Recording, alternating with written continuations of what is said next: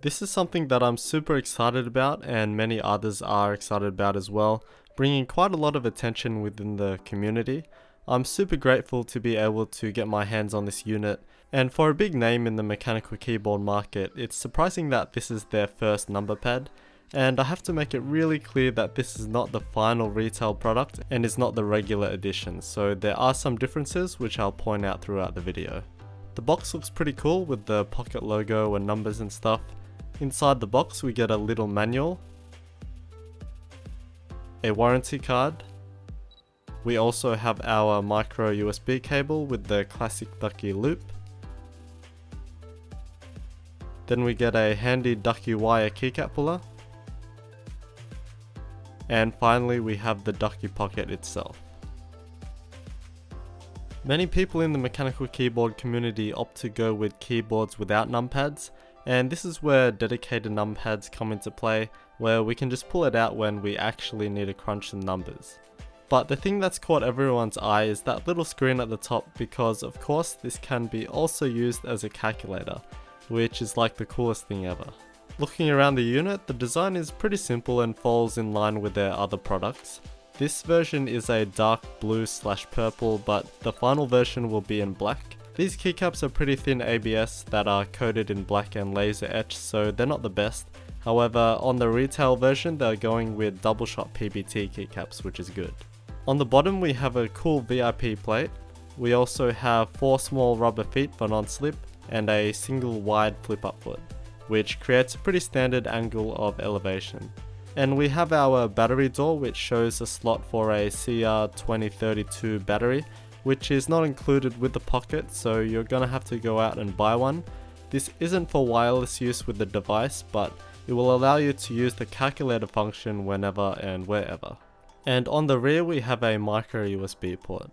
Taking off the keycaps we can see an array of switches this is only on this VIP edition, so if you were to buy one, it'll only come with the one switch color that you pick.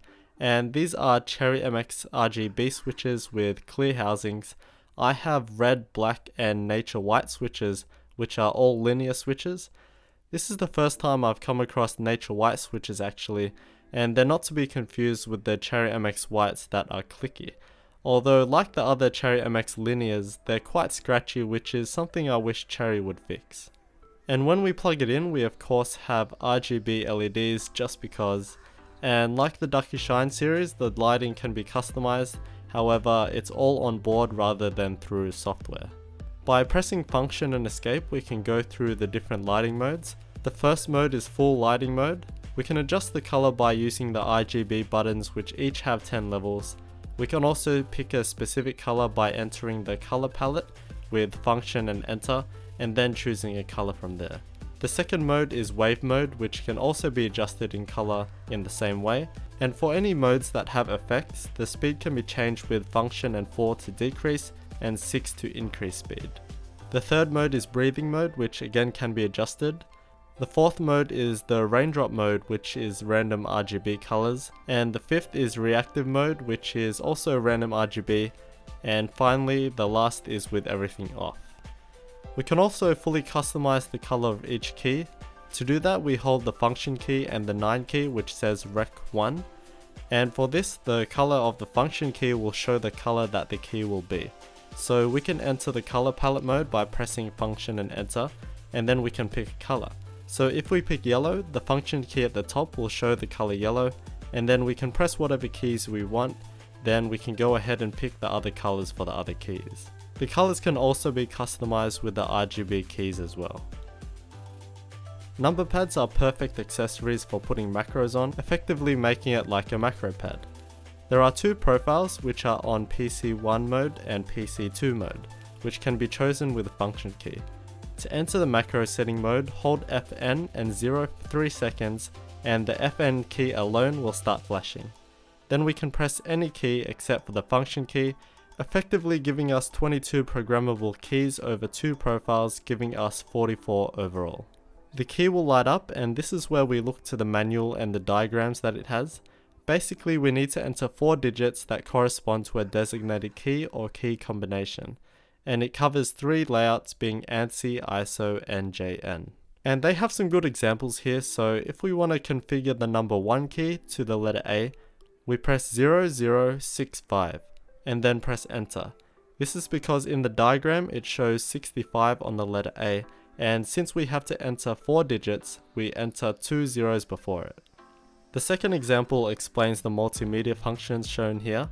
Since there are 3 digits, we still have to enter a 0 before it. So to assign the number 2 key to calculator, we make sure we're in the macro setting mode and then press 2 and then enter 0708 and then press enter. We can use the modifier keys as well like control and shift.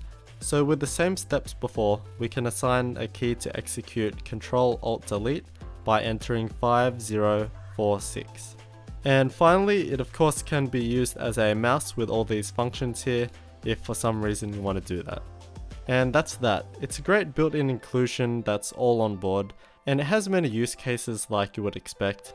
For gaming, it can be used with the left hand as the primary device, so you can have WASD and all that on there, and it will give you a heap of free space for massive mouse movements, but it can also be used on the side of your keyboard for assigned attacks or something. Macros are also super convenient for work purposes for whatever programs you may use that will increase your efficiency over time. This is super useful for me when I do video editing and CAD work.